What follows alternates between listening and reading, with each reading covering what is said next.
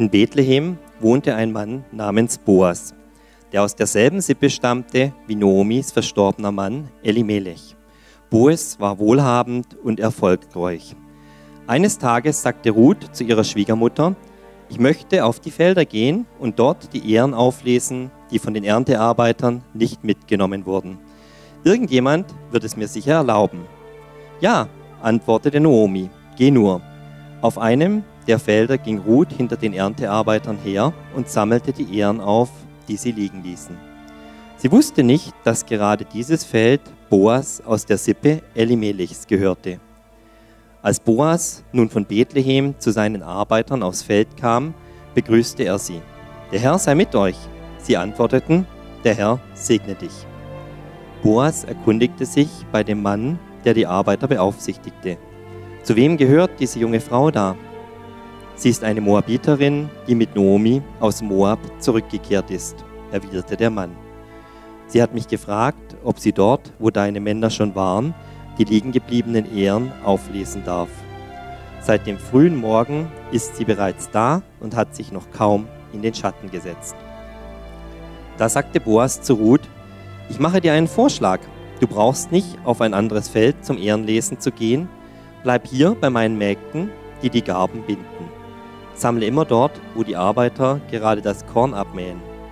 Ich habe ihnen verboten, dich zu belästigen. Wenn du Durst hast, dann geh ruhig zu den Krügen dort und trink von dem Wasser, das meine Männer geschöpft haben. Da warf Ruth sich vor ihm nieder und fragte, womit habe ich das verdient? Warum beachtest du mich, obwohl ich eine Ausländerin bin? Boas antwortete, man hat mir berichtet, wie du seit dem Tod deines Mannes deiner Schwiegermutter beigestanden hast. Deine Eltern und dein Land hast du verlassen und dich einem Volk angeschlossen, das du vorher nicht gekannt hast. Du bist zum Herrn, dem Gott Israels, gekommen, um bei ihm Schutz und Zuflucht zu finden. Möge er all deine Taten reich belohnen. Da sagte sie, mein Herr, ich danke dir für deine große Freundlichkeit. Deine Worte geben mir Mut und Hoffnung. Du schenkst mir deine Gunst, obwohl ich doch viel geringer als deine Mägde bin. Als es Zeit zum Essen war, rief Boas Ruth zu sich. Komm hierher und iss etwas Brot, forderte er sie auf. Du kannst es auch in den Weinessig tunken. Ruth setzte sich zu seinen Leuten und Boas reichte ihr geröstete Getreidekörner. So konnte sie sich satt essen und behielt sogar noch etwas übrig. Als sie aufstand, um weiterzuarbeiten, befahl Boas seinen Männern, lass sie auch dort sammeln, wo die Gaben noch nicht weggeräumt sind, und mach dir deshalb keine Vorwürfe. Zieht immer wieder Ehren aus den Bündeln heraus und lasst sie dort für sie liegen.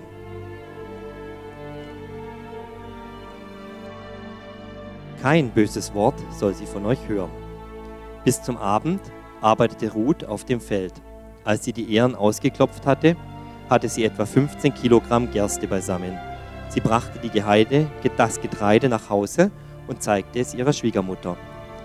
Dann gab sie ihr die gerösteten Körner, die sie vom Mittagessen übrig behalten hatte. Wo hast du nur so viel sammeln können? fragte Noomi. Erzähl mir, wo du gewesen bist. Gott segne den, der so freundlich zu dir war. Ruth berichtete, der Mann, der mich auf sein Feld gelassen hat, hieß Boas. Der Herr segne ihn, rief Nomi erfreut. Er ist ein naher Verwandter von uns und darum nach dem Gesetz verpflichtet, uns zu helfen. Jetzt sehe ich, Gott hat uns nicht unserem Schicksal überlassen. Der Name unserer Männer wird nicht vergessen werden. Ruth erzählte weiter, Boas hat mir angeboten, immer in der Nähe seiner Arbeiter die Ehren aufzulesen, bis die ganze Ernte eingebracht ist. Es ist gut, wenn du mit seinen Mägden hinausgehst, meint Nomi. Auf einem anderen Feld würde man dich vielleicht belästigen. So arbeitete Ruth während der ganzen Gersten- und Weizenernte zusammen mit den Mägden des Boas. Sie wohnte weiter bei ihrer Schwiegermutter. Herzlich willkommen auch beim Videopodcast. Äh, schönen guten Tag. Heute geht es um Ruth. Und zwar um Ruth und Boas und um deine Identität und um deine Identität in der Partnerschaft oder auch als Single. Fantastisch. Das wird jetzt ein bisschen schwierig mit dem Lesen und mit dem, äh, aber das kriege ich schon hin. Herzlich willkommen. Aber in diesem Buch Ruth geht es um viel mehr als nur um Identität und um Partnerschaft. Wir werden heute auf Entdeckungsreise gehen und werden uns Vers für Vers anschauen, was da drin steht. Und es wird gigantisch. Wo kam eigentlich diese Geschichte her? Das ist ja das zweite Kapitel, was wir gerade gelesen haben. Und es begann bei Elimelech, der eine Frau hat, die heißt Naomi. Und die haben zwei Kinder, Kilion und Machlon. Ja, wunderbare Namen, wie der Tobi letztes Mal schon gesagt hat. Aber in Bethlehem, wo sie wohnen, ist Hungersnot und sie müssen auswandern. Jedenfalls denkt das Elimelech und sie wandern nach Moab aus. Aber Moab ist ein schlechtes Land für Leute, die an Gott glauben, weil da glaubt keiner an Gott. Dennoch macht es Elimelech und die gehen dorthin, sie wandern dorthin und seine beiden Söhne finden zwei Frauen und zwar natürlich Moabiterinnen. Und diese beiden Frauen, die heiraten die beiden Söhne und das Problem ist, alle Männer sterben. Und die drei Frauen sind allein. Und die Schwiegermutter, die Naomi, sagt sich gut, sie hat gehört, dass in Bethlehem wieder Essen ist. Und sie will zurück, sagt aber zu ihren beiden Schwiegertöchtern, ihr beiden kommt aus Moab, ihr werdet in Israel nichts Gutes finden. Und auch mein Gott hat euch nichts Gutes beherberreitet. Eure beiden Männer sind tot. Bleibt hier in Moab. Und Orpa und Ruth, das sind die beiden Schwiegertöchter, die sagen, nein, wir wollen mit. Und Naomi bleibt dabei und sagt, nein, geht zurück, weil es wird euch in Israel nicht gut ergehen. Und Orpa sagt, gut, ich bleibe hier, du hast recht. Aber Ruth, Ruth geht mit ihr in ein Land, wo sie keinen kennt, ein Land, dessen Gott ihr nichts Gutes bereitet hat, sondern nur Leid. Ihr Mann ist tot. Und trotzdem sagt sie, ich mache es. Ich gehe mit. Und der letzte Absatz, der letzte Satz im ersten Kapitel lautet, als Naomi mit ihrer moabitischen Schwiegertochter Ruth nach Bethlehem kam, begann gerade die Gerstenernte. Und die Gerstenernte ist die erste Ernte im Jahr. Das heißt, sie sind mega im Leid, es geht ihnen nicht gut, sie kommen nach Bethlehem zurück und das Land wird bestellt und das, die erste Frucht, das erste Leben, was wächst, ist Gerste. Und es ist gerade Gerstenerntenzeit und es ist Hoffnung. Es ist Leben. Und diese Hoffnung hat einen Namen. Boas. Wow. Und wenn du zu Hause nochmal nachlesen möchtest, findest du, das, findest du das im zweiten Kapitel. Und zwar siehst du hier,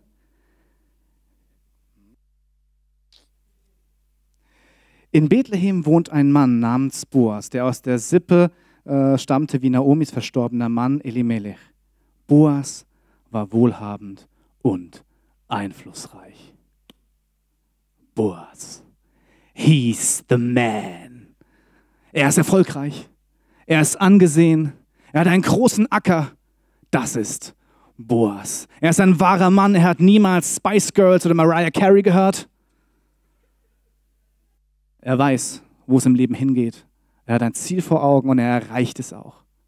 Boas ist circa Mitte 20, vielleicht auch Ende 20, 30 und er ist Single. Irgendwas stimmt hier nicht. Er ist erfolgreich. Er ist einflussreich, er hat Macht. Er ist wirklich im heiratsfähigen Alter, aber er hat keine Frau. Komisch.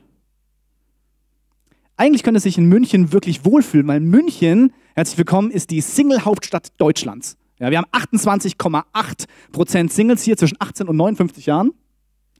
Das hat auf jeden Fall die Partneragentur Partnership herausgefunden. Warum die da wohl nach gefragt haben, aber ist wurscht. Okay, also 28,8 Prozent, das sind umgerechnet 244.000 Menschen.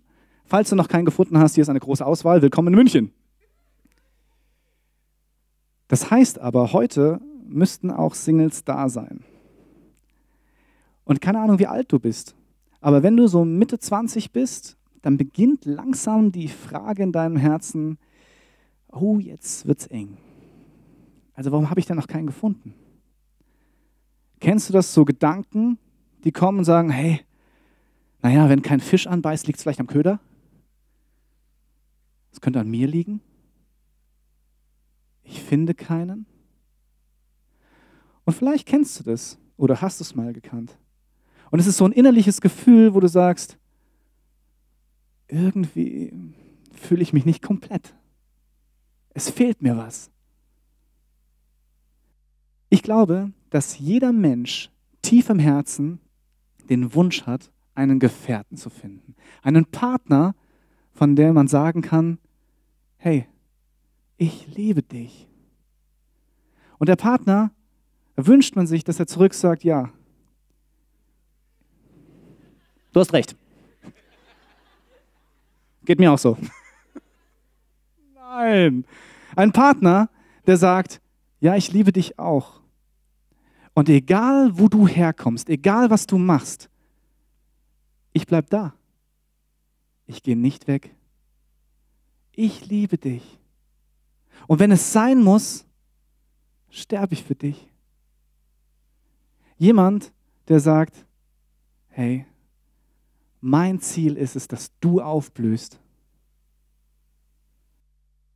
Und je älter du wirst, desto mehr könnte es sein, dass du den Fokus auf dieses Partnerschaftsthema lenkst. Wo finde ich einen Mann? Wo finde ich eine Frau, eine Frau? Und das Problem ist, dass je älter man wird, irgendwann man denkt, oh, die Zeit bleibt nicht mehr so. Ich bin nicht mehr so knusprig und außerdem werden die anderen schon misstrauisch, warum ich immer noch keinen habe. Die fangen an zu fragen. Meine Eltern fangen schon an so, magst du nicht mal langsam? Ja? Kennst du das? Und der Fokus geht darauf und du fängst an zu verkrampfen. Und du sagst, ah, wenn ich keinen finde, und jedes Mal, wenn du mit jemandem redest, sagst, ah, ist er das vielleicht? Ist sie das vielleicht? Und du fängst an, dich einzuigeln und bedürftig zu werden. Sagen, ah, du könntest der Retter meiner Seele sein. Das Problem ist aber, dass man es vergleichen kann wie mit einer Säule. Die Kunsthistoriker unter uns wissen, welche Art von Säule das ist. Aber dieser Gedanke, ich bin nicht komplett. Wenn ich keinen Partner habe, dann bin ich nicht komplett. Das sieht aus wie eine nicht komplette Säule. Dieser Säule fehlt etwas, etwas, was sie zum Leben braucht. Etwas, ohne das es einfach nicht geht. Aber wenn ich mir Boas anschaue, Boas ist anders drauf. Boas ist derjenige, der erfolgreich ist, der sagt, ja, es ist so. Ich bin Mitte 20 und ich habe ein Gerstenfeld. Ja, ich bin Mitte 20, aber ich bin angesehen. Ich habe Erfolg. Und ja, ich habe keine Frau. Aber ehrlich, ich werde eine finden. Und wenn ich sie gefunden habe, werde ich sie erkennen. Und dann werde ich sie erobern. Und dann werde ich mit ihr mein Leben bestreiten. Aber Boas wirkt irgendwie nicht so wie diese Säule, sondern er wirkt komplett. Er ist ein Mann, auf dem gebaut werden kann. Er ist eine stabile Säule. Er steht dort und sagt, ja, wenn ich eine Frau finde, dann wird sie einem Mann gegenüberstehen, der ein wirkliches Gegenüber ist. Und Ruth? Ruth ist eine Frau, die alles verloren hat, was man sich nur vorstellen kann. Und Ruth steht in einem fremden Land an einem Punkt, wo sie nichts mehr hat, außer einer bitteren Schwiegermutter. Ja, das ist sehr gut. Ja, Top-Voraussetzung für ein glückliches Leben. Kannst mal ausprobieren, das ist sehr gut. Denn ihre Schwiegermutter Nomi kommt nach Bethlehem und sagt, hey, nennt mich nie wieder Süße, das ist der Name Nomi, sondern nennt mich Mara. Ich bin bitter geworden. Gott hat mich gestraft. Und so wird es mein Leben lang bleiben. Mein Name ist bitter.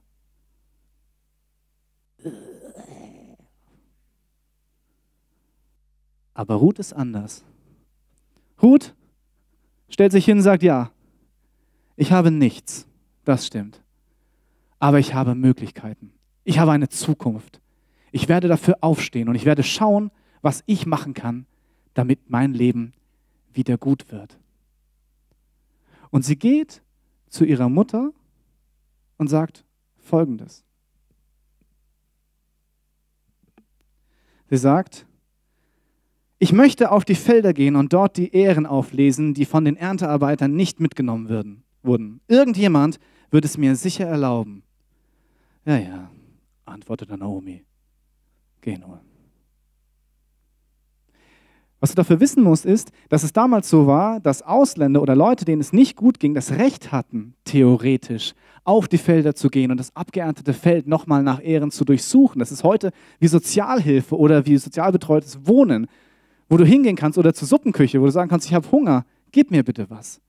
Aber abends, äh, damals war es so, dass das kein Recht war, was du einklagen konntest, sondern du warst auf die Gnade angewiesen desjenigen, dessen Feld dort äh, verstellt wurde. Und noch einmal Respekt vor Ruth. Sie geht das Risiko ein. Sie sagt nicht, ja, ja, ich weiß, ich kann nichts. Und außerdem bin ich hässlich geworden. Ich bin alt, ich bin Witwe, ich habe keine Söhne und keine Töchter. Ja, ich komme aus einem anderen Land. Na gut, ich verschimmel hier. Das sagt sie nicht. Sondern sie sagt, ja, ich werde es probieren. Und ich werde mein Glück finden. Und es geht weiter.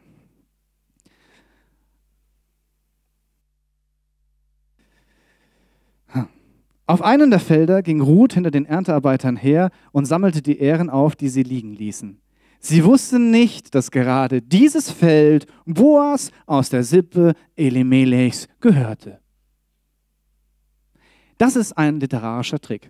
Wenn jemand sowas schreibt, sie wusste nicht, dass genau dieses Feld dem Boas gehörte, dann meint man damit, natürlich gehört es dem, das wusste sie. Nein, das wusste sie nicht. Aber das ist echt spannend. Boas ist ihr Retter. Und wir werden später noch Abgefahrenes über Boas herausfinden. Es musste dieses Feld sein. Aber es ist wie zufällig. Manchmal ist es so, dass wir auf Gottes Wirken warten, als müsste irgendwie 15 Engel an diesem Feld stehen und sagen, Hallo, das ist das Feld von Boas the Man. Oder wo du irgendwie einen Stern über Boas Feld siehst und sagst, ah, das kenne ich irgendwoher. Stern über... Du dann aber denkst, ah, das kam noch nicht. das kommt erst später, das kann es nicht gewesen sein. Nein, Nichts davon. Sie geht einfach zufällig auf das Feld und es ist das Richtige. Wahnsinn. Und es geht weiter. Mit Zufällen, unglaublich. Als Boas nun von Bethlehem zu seinen Arbeitern aufs Feld kam, gerade zur richtigen Zeit übrigens, begrüßte er sie, der Herr sei mit euch. Und sie antworteten, der Herr segne dich. Spannend. Jetzt mal so ein kurzer Sidekick, hat nichts eigentlich wirklich mit dem Thema zu tun. Kennst du einen Chef, der bei euch nach Hause kommt äh, oder in, in den Laden reinkommt und sagt, der Herr sei mit euch? Und du sagst, ja Mann, der Herr segne dich. Go for it. Top-Typ. Spannend ist, dass er authentisch ist und er sagt, ich bin nicht nur euer Chef, sondern ich bin auch euer Segen. Und das kann ich, weil mir Macht gegeben ist. Und mein Ziel ist, dass euch es gut geht und dass ihr durch mich auch Gott kennenlernt. Der Herr segne euch. Sehr geil. Okay, weiter. Nur zu sehen, was da noch alles drin ist. Der Herr segne dich. Genau. Boas erkundigte sich bei dem Mann, der die Arbeiter beaufsichtigte, zu wem gehört diese junge Frau da? Okay. Also wir müssen kurz Revue passieren lassen. Stell dir vor, du bist Ruth und bist auf dem Feld und du hörst von den Mägden nebendran, hey, Gleich kommt Boas, der Mann der Männer. Wahnsinn, gleich ist er da. Was würdest du tun, ihr Frauen? Wahrscheinlich wäre es so, dass du sagen würdest, kein Problem, ich bin in vier Stunden wieder da und dann bin ich schick und aufgebrezelt und es wird super sein. Und er wird mich erkennen, weil ich wie ein Stern leuchten werde. Ruth hat diese Möglichkeiten nicht. Sie ist dort, sie ist arm, sie hat wahrscheinlich nur ein Kleid was sie über Wochen anhat. Und sie ist schmutzig, sie hat keine Chance, sich zu waschen. Und sie ist gerade dabei, Ehren zu lesen. Und Boas sagt, hey, wer ist die? Er kennt seine Leute Und er weiß, dass sie neu ist. Und irgendetwas an ihr ist besonders. Aber was? Und sein Vorarbeiter, den er fragt, er sagt, sie ist Moabiterin, die mit Naomi aus Moab zurückgekehrt ist, erwidert der Mann. Sie hat mich gefragt, ob sie dort, wo deine Männer schon gewesen waren, die liegen gebliebenen Ähren auflesen darf. Seit dem frühen Morgen ist sie bereits da und hat sich noch kaum in den Schatten gesetzt. Das, was Ruth ausmacht, ist nicht vordergründig ihre Schönheit. Das, was Ruth ausmacht, ist auch nicht ihre Herkunft, nicht das, was sie hat, nicht das, was man über sie redet, sondern ihr Charakter, ihre Identität, das, wer sie wirklich ist. Und sie zeigt es in ihrem Handeln. Sie geht auf das Feld und bittet um Gnade. Und sie darf auflesen und sie arbeitet von morgens bis abends und sie macht keine Pause. Sie verletzt keine Regeln. Sie ist dort und sie ist dankbar für das, was sie bekommt, weil sie weiß, dass es Gnade ist. Und Boas sieht es und sagt, hey, das ist attraktiv. Je länger du Single bist oder je länger du auf der Suche nach dem Traummann oder der Traumfrau bist, dann gibt es so eine Tendenz, die man beginnt zu tun. Und zwar macht man sich eine Liste von Dingen, die wichtig sind bei meinem zukünftigen Traumpartner. Hast du so eine Liste? Vielleicht im Kopf. Wo du sagst, ja, aber eigentlich müsste sie das machen, eigentlich müsste er das machen, eigentlich müsste das sein, eigentlich müsste sie das sein. Und dann beginnt man zu suchen, und zwar auf der ganzen Welt. Erst am Arbeitsplatz, dann zu Hause, dann äh, im Kaninchenzüchterverein, äh, dann in Facebook, in Twitter, wo auch immer. Aber diese Liste ist echt lang. Hätte Boas so eine Liste gehabt, würde er nie mit Ruth zusammenkommen. Weil ganz ehrlich, ich glaube nicht, dass auf Boas Liste steht, also, wenn ich eine Frau möchte, sollte sie auf einem fremden Land kommen, wo man Gott gar nicht kennt. Außerdem sollte sie arm sein und außerdem sollte sie Witwe sein. Das ist mir ganz wichtig persönlich. Und sie sollte keine Kinder haben, obwohl sie schon eigentlich viele Kinder haben sollte. Aber es ist mir vollkommen egal, weil meine Zukunft hängt überhaupt nicht davon ab, dass wir Kinder haben, weil wir haben ein Sozialversicherungssystem in 2000 Jahren. Das wird schon reichen. Außerdem wünsche ich mir, dass meine Traumfrau an, an meinem äh, Feld vorbeikommt und wie eine Bettlerin äh, dann versucht, meine Gersten äh, zu bekommen, weil ich sie dann auch unterstützen kann. Kein Mensch glaubt, dass das Boas auf seiner Liste stehen hat. Aber Boas schaut auf was anderes. Er schaut auf ihr Herz, weil was er dort sagt als Antwort ist fantastisch. Er sagt,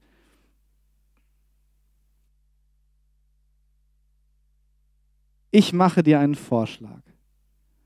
Du brauchst nicht auf ein anderes Feld zum Ehrenlesen zu gehen. Bleib hier bei meinen Mägden, die die Gaben binden. Sammle immer dort, wo die Arbeiter gerade das Korn abmähen. Ich habe ihnen verboten, dich zu belästigen. Wenn du Durst hast, dann geh ruhig zu den Krügen dort und trink von dem Wasser, das meine Männer geschöpft haben. Boas achtet nicht darauf, wo Ruth herkommt. Er sagt, dein Charakter ist mir wichtig.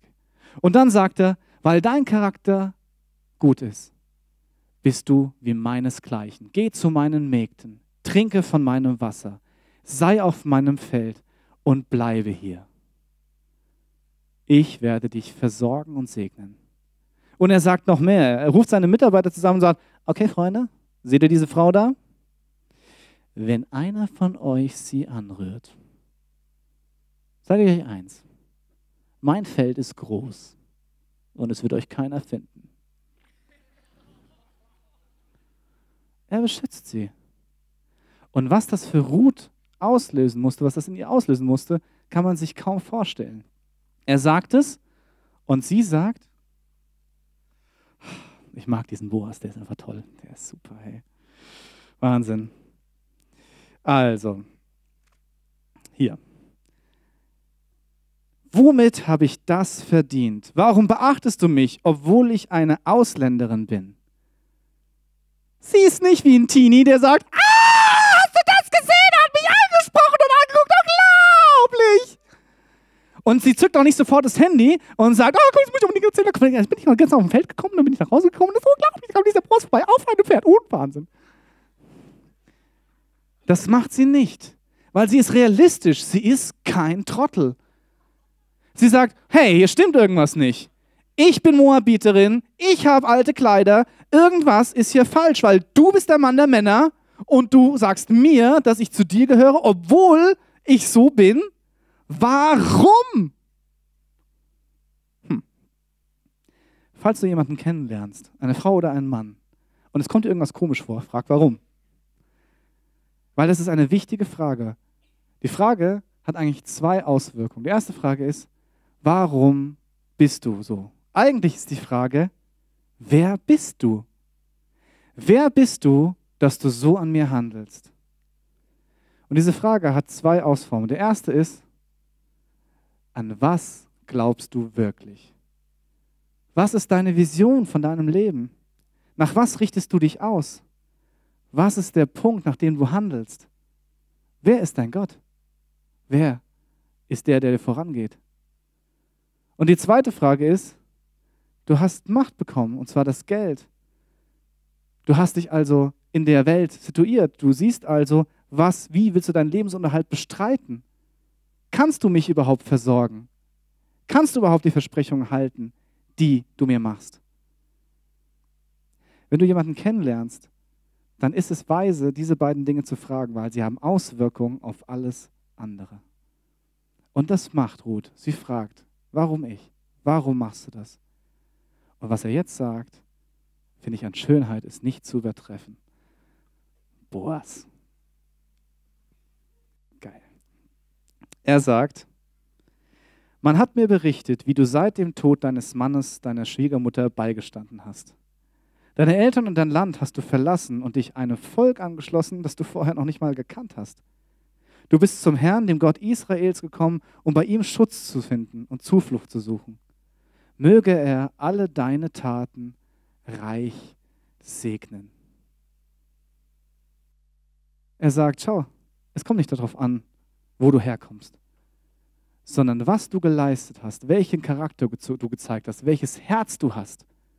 Das ist das, was mich anspricht. Du bist eine Säule, auf der man bauen kann. Du hast Eigenschaften, die alles überdauern, was irgendwann mal nicht mehr so knackig ist. Du bist liebenswert, weil du hast ein tolles Herz. Und das Krasse ist, er sagt es vor all seinen Mitarbeitern. Er sagt, schaut euch diese Frau an, was du geleistet hast mit deiner bitteren Schwiegermutter. Mann, oh Mann, nicht schlecht. Und er sagt, Mögest du gesegnet sein für all das, was du getan hast. Er betet. Er bittet um Segen für Ruth. Und das ist echt spannend. Segen heißt es, also sie soll versorgt sein. Sie soll Nachkommenschaft kriegen, was sie ja noch nicht hat. Und das Spannende ist, wenn er betet, dann spricht er etwas aus, was eigentlich schon da ist. Sie ist bereits auf Boas Feld. Sie ist bereits im Schutz. Sie ist bereits im Segen. Boas betet, aber er selbst ist die Antwort auf dieses Gebet. Das finde ich krass. Und es ist ein Teil seiner Identität. Er sagt, ja, ja, ich lebe mit Gott, deswegen lebt Gott in mir. Alles, was ich bete, kann sich natürlich auch durch mich erfüllen. Ich bin eine Säule, auf die man sich stützen kann, weil mein Fundament fest ist. Fantastisch. Und das tut Boas. Und er sagt weiter.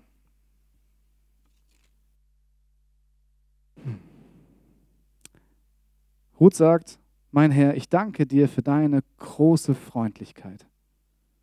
Deine Worte geben mir Mut und Hoffnung. Du schenkst mir deine Gunst, obwohl ich doch viel geringer bin als deine Mägde. Und er sagt, als zur Zeit zum Essen war, rief Boas Ruth zu sich komm hierher und iss etwas Brot, fordert er sie auf. Du kannst es auch in den Weinessig tunken.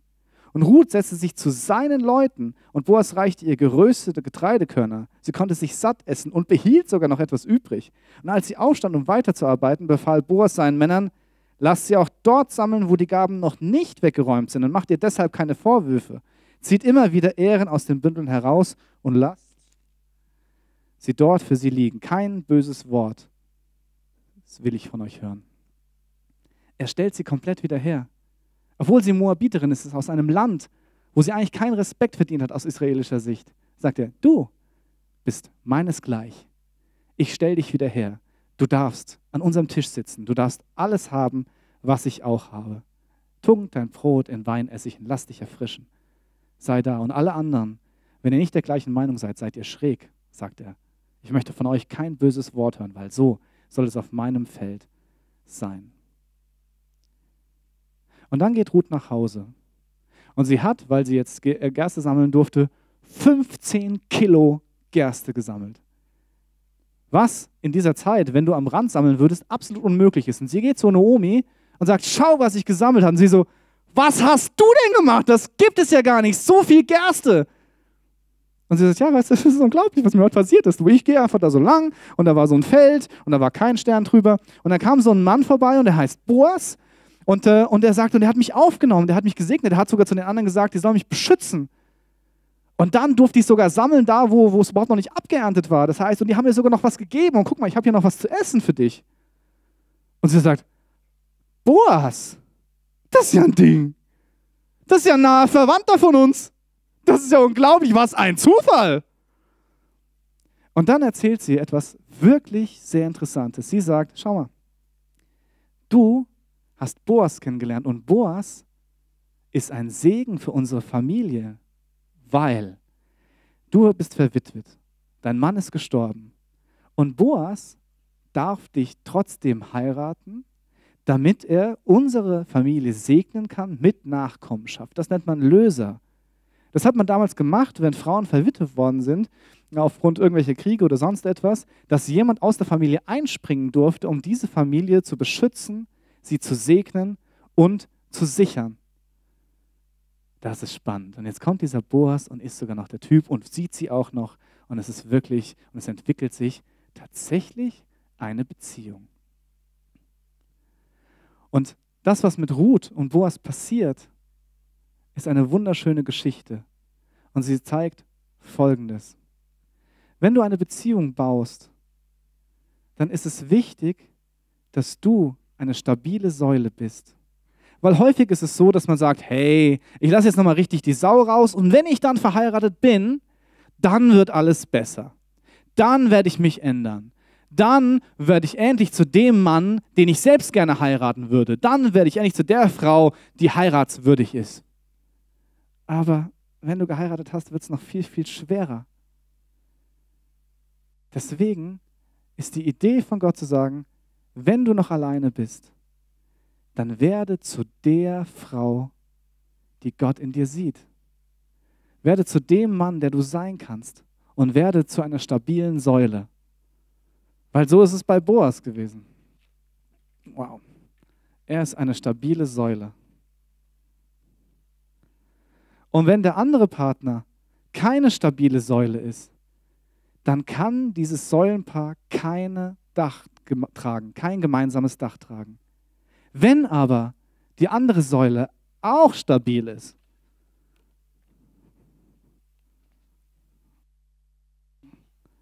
dann passiert Folgendes.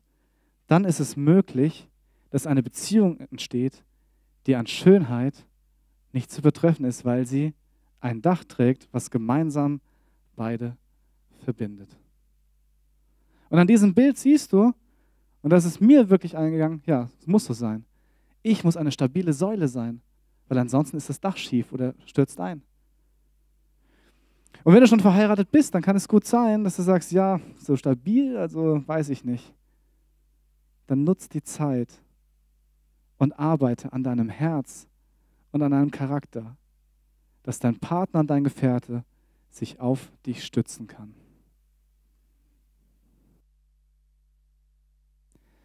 Diese Geschichte von Boas und Ruth ist aber noch viel mehr als nur eine Liebesgeschichte. Boas ist ein Bild für Jesus. Das ganze Erste Testament zeigt auf einen Punkt hin, und zwar auf Jesus. Und Boas ist ein Spiegelbild von ihm. Und das finde ich so fantastisch, weil Jesus ist der Mann. Er steht dort und sagt, ja, du kommst zu mir, du kommst auf mein Feld und ich werde dich versorgen. Egal, wo du herkommst, egal, wie du aussiehst, egal, was du getan hast, wenn du den Weg aus Moab hierher bringst, hierher schaffst, wenn du dein Recht in Anspruch nimmst, dann werde ich dich segnen, beschützen und befreien. Jesus steht da mit offenen Armen auf diesem Feld vor dir und sagt, hey, ich bin morgen noch da, egal was du getan hast. Ich liebe dich, egal wo du herkommst. Ich segne dich und mein Wunsch ist, dass du aufblühst. Ich beschütze dich, es darf dir keiner etwas antun. Ich glaube an dich, weil ich dein Herz sehe. Ich bin dein Segen. Und wenn du möchtest, komm an meinen Tisch. Du gehörst zu meiner Familie. Du darfst an meinem Tisch essen und du bekommst noch mehr, als du eigentlich brauchst, sodass du noch deine Familie segnen kannst, dein Umfeld segnen kannst. Und es ist so spannend, dass Naomi sagt, hey, der ist aus unserer Familie, es ist ein Verwandter. Jesus ist ein Verwandter. Er ist Mensch. Und er hat das Recht, das zu tun. Er hat das Recht, dich rauszuholen. Und er wünscht sich nichts mehr als das. Ich weiß nicht, wo du heute stehst, ob du sagst, ja, eigentlich wäre ich gern eine komplette Säule, die ein Dach tragen kann, ein Gegenüber. Aber ich habe es noch nicht gefunden, mein Gegenüber. Dann ist es vielleicht Zeit zu sagen, ja, ich möchte mich stabilisieren. Ich möchte dafür sorgen, dass ich weiß, wo ich hin will. Dass ich weiß, wie ich mich versorge. Dass ich komplett bin, obwohl ich noch alleine bin. Vielleicht sagst du, ich bin schon verheiratet und ich merke, ich bin nicht immer eine Stütze. Dann ist es vielleicht Zeit zu sagen, ja, dann arbeite an deinem Herz und deinem Charakter. Und sei ein Gefährte. Werde zu der Traumfrau, die Gott in dir sieht oder werde zu dem Traummann, der du sein kannst. Oder vielleicht sagst du, diese Beziehungsnummer ist gar nicht mein, mein Punkt. Ich wünsche mir, dass tatsächlich dieser Jesus das tut, was kein Mensch anderer tun kann. Und zwar dort zu stehen und zu sagen, ja, ich erlöse dich, ich befreie dich von all der Last, die du hast. Und ich versorge dich, ich beschütze dich. Und was mich so tief bewegt, ist, dass Jesus sagt, ich glaube an dich. Ich glaube an dich, weil ich sehe dein Herz. In der nächsten Minute kannst du einfach überlegen, was für dich dran ist. Ob du sagst, ja, ich möchte mit diesem Jesus durchstarten, mit diesem Boas. Oder ob du sagst, ja, zeig mir die Punkte, wo ich noch keine komplette Säule bin, wo ich mich entwickeln kann.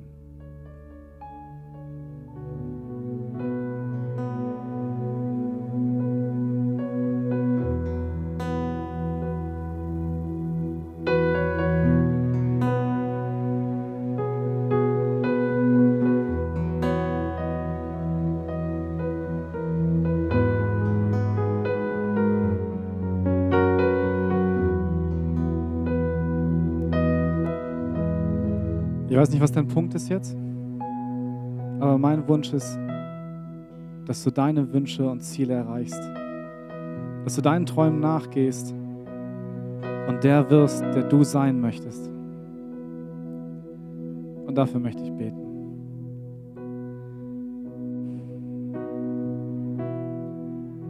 Jesus, ich danke dir, dass du ja, dass du eine komplette Säule bist, dass du mächtig bist und dass du sagst, Komm auf mein Feld. Geh nirgendwo anders mehr hin. Bleib bei mir, denn ich beschütze dich. Ich segne dich. Und ich sehe in deinem Leben leben. Herr, ich danke dir, dass du das bei mir gemacht hast und dass du das bei jedem anderen tun möchtest. Und ich danke dir, dass du jede Beziehung segnest und dass jeder Mann und jede Frau, die heute Morgen hier ist, sich in deine Richtung entwickeln kann und zu der Mann oder zu, dem Frau, zu der Frau werden kann, die du in ihn siehst. Und ich danke dir, dass du jedem Single, der heute hier ist, einen Frieden ins Herzen gibst, dass er komplett ist, dass sie komplett ist, auch wenn da noch kein Gefährte an der Seite ist. Und ich danke dir, dass du sie zu mächtigen Säulen machen wirst, die ein großes Dach tragen können. Jesus, ich danke dir, dass es dich gibt und dass du mein Boas auch bist. Mein Retter. Amen.